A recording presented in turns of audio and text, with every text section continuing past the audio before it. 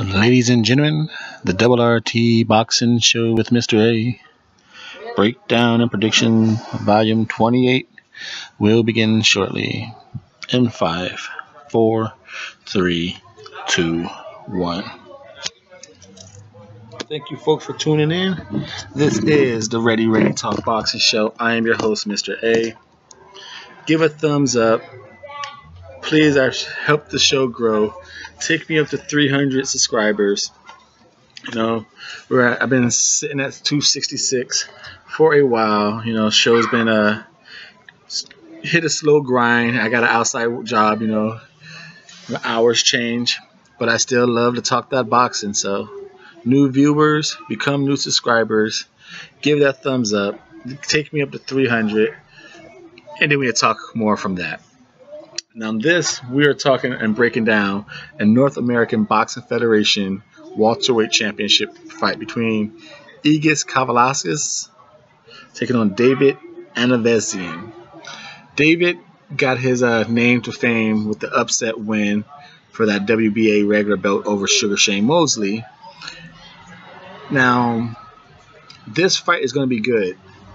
You got the Mean Machine Egis, and you got David is this a David and Goliath story?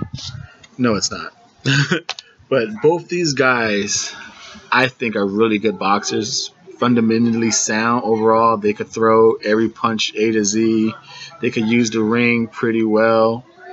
Uh, I give uh, legs wise, you know, ring generalship. I'm going to lean towards David on that one. I think uh, he doesn't get the power that Egis gets his punches from his legs, but he uses his legs. He is good um, gap control.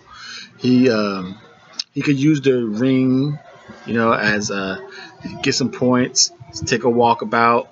Uh, if he needs to be gather himself for a few seconds, he's good at using the ring.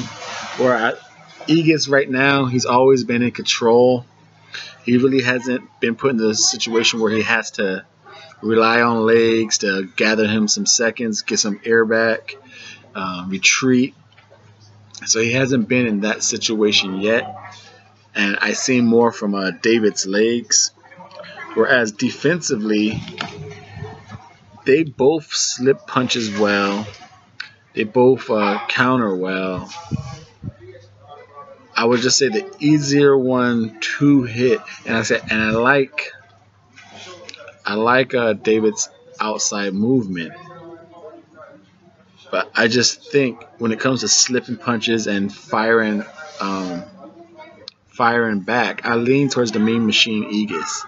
I think he's a little better at rolling and slipping punches when it comes to the inside. So we're going check box. We're going one for one so far. Egis has a better to me a defense where he's not hit as easily in the mid range game as David is. David, I'm giving better legs due to his outside ring control. And when it comes to the offensive category, like I said, both these guys, I feel, could throw every punch in the book. What separates them is the power of the Mean Machine.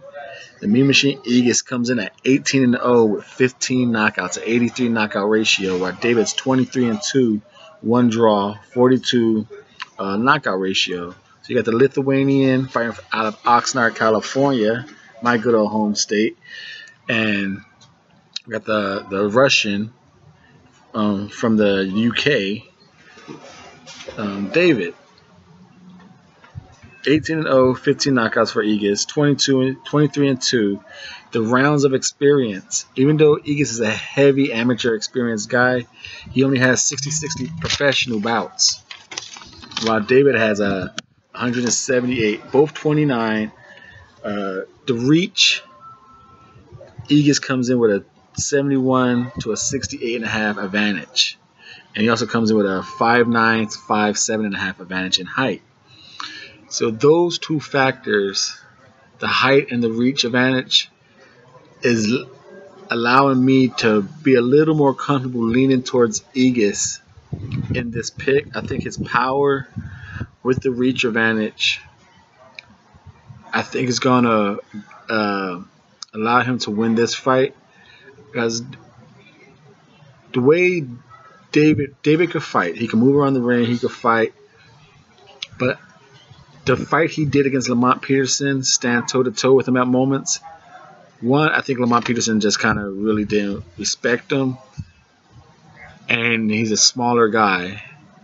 I don't think David will be able to stand toe to toe as many rounds as he did with Lamont as he did as he can, will be able to with Egis, the Mean Machine. I think Mean Machine punches too hard. Uh, he, he's going to be behind that jab, and I'm leaning with. I just don't know if it's going to be a knockout or not, but I'm leaning with Egis on this one. We're going with Egis Kavalasis. Kavala. It's a hard last name, folks. So stick with the Egis. Egis. Egis going uh, over David. And Egis will retain his North American Boxing Federation's welterweight title. So this is a, a nice little page to see where Egis goes from because he's ranked number 23 in the world against number 13 against David. So again, Egis over David, retain his North American Boxing Federation. New subscribers, please, please, please become new subscribers if you are new viewers. Take it up to 300 for me. Help my show grow.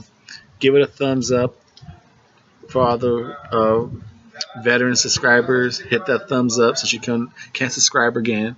If you could, I know you would. Appreciate the support. Thumbs up. Mr. A is out.